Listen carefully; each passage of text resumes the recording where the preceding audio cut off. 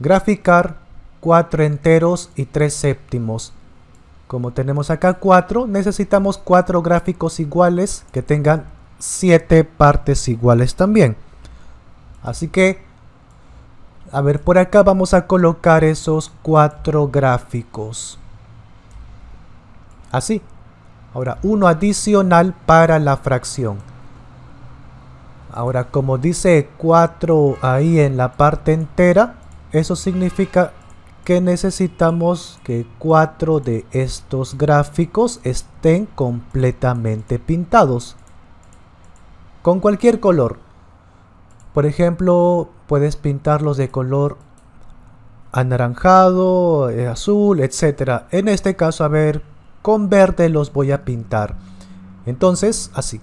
Ahora, arriba como hay un 3, necesitamos pintar solo 3 de estas partes. Así es en las fracciones. Y ya está.